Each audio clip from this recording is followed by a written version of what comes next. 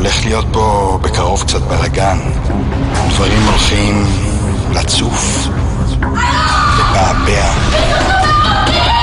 36 איש